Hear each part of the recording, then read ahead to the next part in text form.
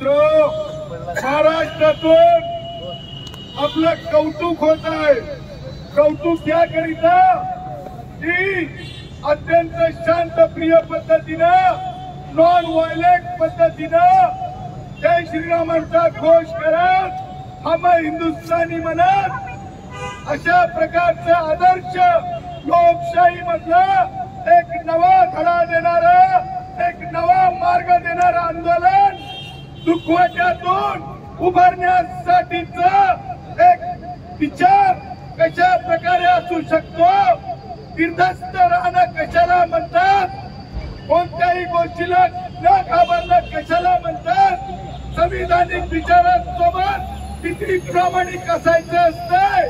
हे सर्व गोष्टी या आझाद मैदानातून तसेच दोनशे पन्नास डेपो मधून अख्खा महाराष्ट्र आणि भारत पाहत आहे हे होत असताना आपणाला अनेक प्रतिष्ठित संस्था संघटना राजकीय पक्षाचे लोक आपल्याला पाठिंबा देत आहे अशाच परिस्थितीमध्ये अशाच परिस्थितीमध्ये मी तुम्हाला सांगत आहे.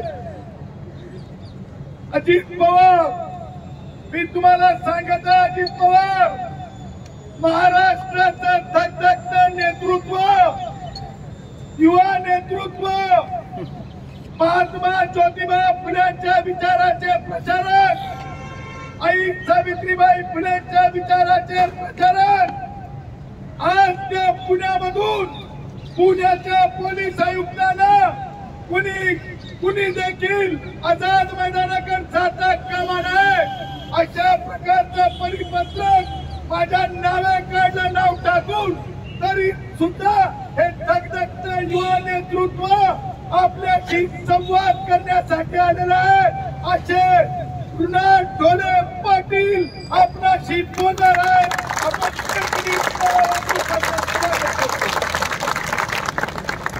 कृणाल ढोले पाटील हे अभ्यासक आहेत चिंतक आणि भाष्यकार आहेत. महात्मा ज्योतिबा फुल्यांच्या विचाराचे. त्यामुळं मागे आपण पाहिलं. की मुंबईतले प्रमुख आले. त्यानंतर आपण पाहिलं की राऊत साहेबांसारखे शरद पवारांच्या बरोबरीचे नाही तर त्यांच्यापेक्षा वरचे असे राऊत साहेब बारामतीतून आपल्यासाठी आले.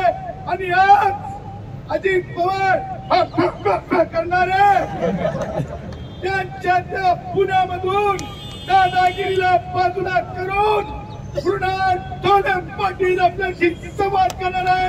शब्द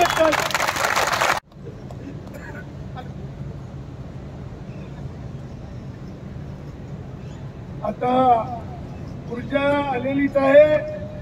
युवा नेतृत्वाने जेपीची आठवण करून दिलेली आहे.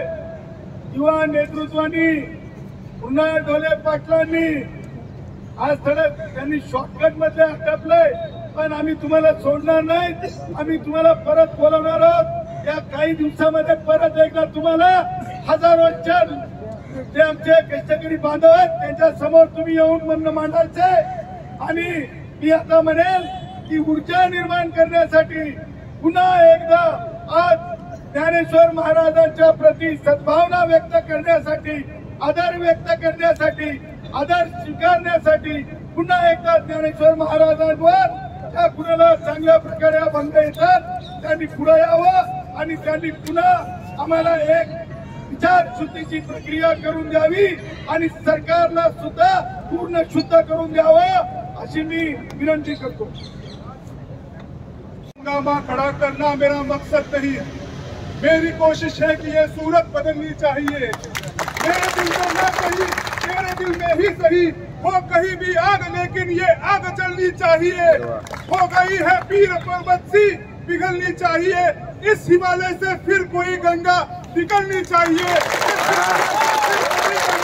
निकलनी चाहिए। एकात्मता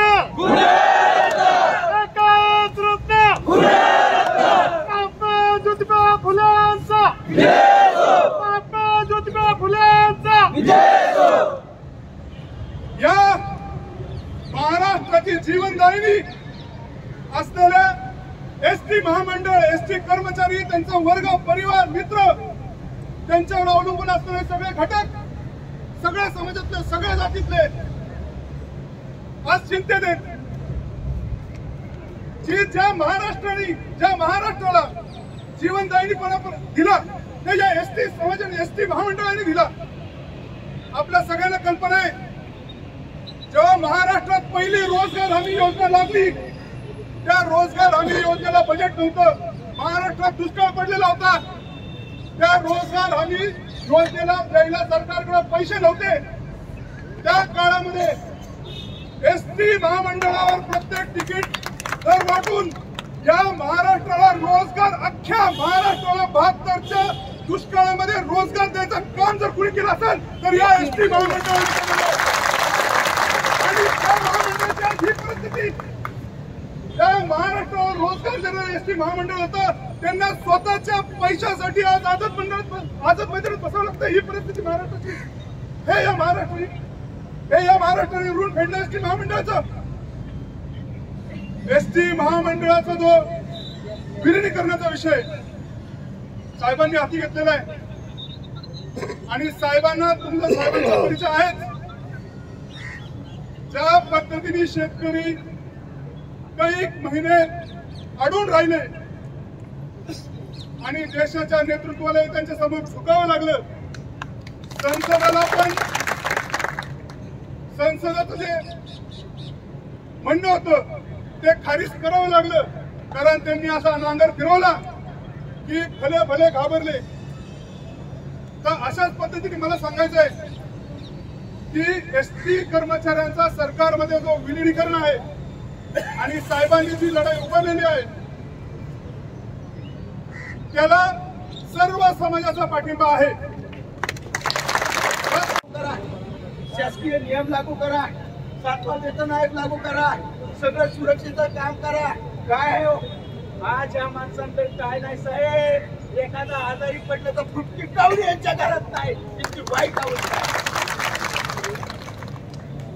बाया माणसं कशी संसार चालवतात त्यांचे त्यांना माहितीये दुकानाची उतारी झाली तर स्वाभिमानी असून सुद्धा त्याला तोंड घडवून द्यावा लागतंय. पगार होणार आहे म्हणून. इतकं गणपती महामंडळ आतापर्यंत या लोकांनी तुमचा वापर केलेला आहे. पण बाबांनो मुर्दार झालेली लोकशाही. तुम्ही जिवंत केली तुम्ही. आंदोलन नाव करून जाणार आहे.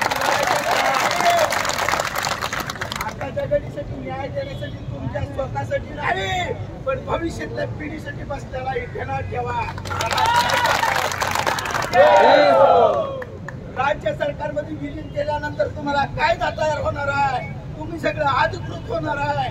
यांच्या बापाला काही सुटणार नाही सगळं द्यावं लागेल. कोण म्हणता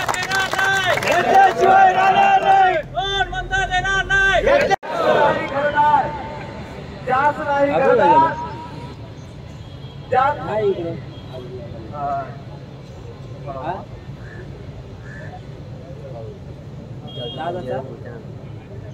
आधार कार्डचा फोटो नाही गाडी जे का रंजले गांजले त्यासी म्हणे जावा पुढे तोची साधू ओळखावा.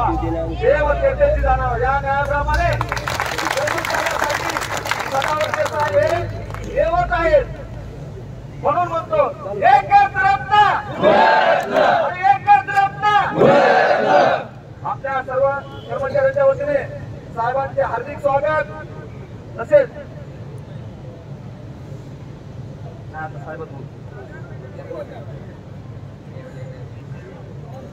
तुम्हाला पाठिंबा दिला बोलत असं चाललं होतं.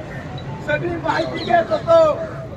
पण आज महाराष्ट्रातले सगळे डेपो बंद आहेत. तुम्हाला चुकीची माहिती देतात. इतक्या गाड्या चालू झाल्या तितक्या गाड्या चालू झाल्या. अजिबात काय चालू झालं नाही. हे सरकार गुडघट टेकून तुमच्या खाता चर्चा नाही. इथे कारण आता महाराष्ट्रातली सामान्य गोरगरीब जनता वैतागलेली आहे. तुम्ही सगळ्याच्या मान्य मागण्या करता एस टी कर्मचारी त्यांचा का करत नाही. तुम्ही मागण्या मान्य करत नाही म्हणून आमची जायची अडचण झालेली आहे. की तुम्हाला दोष देत नाहीत ते आता सरकारला दोष देत आहेत. अवघड काय? अर्थमंत्र्यांनी सांगावं. या लोकांच्यासाठी जर मी स्पेशल बजेट टाकलं शासनात विलीन करण्यासाठी तर ही लोक पैसे देणारे आहेत का नाही एवढंच तरी कबूल करावं मीडियाच्या समोर अर्थमंत्री म्हणजे अजित पवार जिथं तुम्हाला पैशाचा प्रश्न येतोय जिथं तुम्ही आम्हाला भीती दाखवताय शासनात विलीन केल्यानंतर राज्यावर एवढ्या कोटीचा बोज येईल तेवढ्या कोटीचा बोज येईल. अरे आज मी तिला बारा हजार कोटी कर्ज काढून पगारच करताय की तुम्ही? त्यांच्याकडे काय उत्पन्न आहे? अरे आमच्याकडे काढा आमच्याकडे उत्पन्न आहे. आणि मग बघा महिना तुमच्या पैशाला सांगा.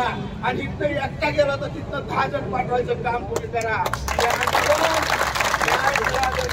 आझाद मैदान सोडला जाणार नाही. आंदोलनाचा आत्मा आझाद मैदान आहे.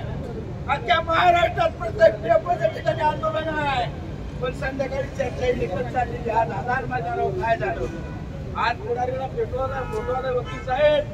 लोक डोक्यावर तो कागद ठेवून उभा राहिले तिथं. पण लोकांनी मैदान सोडलं नाही. मैदान सोडलं नाही आजूबाजूला रेल्वे स्टेशन गाव पाताळे स्टेट गाव नाही तिथं झोपले. आणि सकाळी एवढ्या समूह पुन्हा उपस्थित होता. सकाळी यांना पोहोचव की बाबांना तुमचा लढा यशस्वी मार्गावर आता आहे. यशस्वी मार्गावर आहे. ज्यांनी ज्यांनी आतापर्यंत लढ्यासाठी नेत्यांनी योगदान दिलं त्यांचं सुद्धा स्वागत. आणि या सामन्याची बॅटिंग सुरुवातीपासून पॉवरफुल आलेली आहे. आणि आता विजयाचा षटकार ह्या माणसाकडनं महाराष्ट्रात